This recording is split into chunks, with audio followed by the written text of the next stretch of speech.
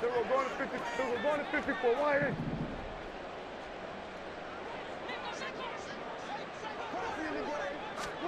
A first down throw for Prescott. Oh, he's going to take a shot right away. And this one is incomplete.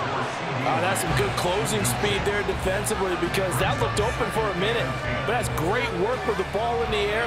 Never gave up, converged on his man, and broke the play up.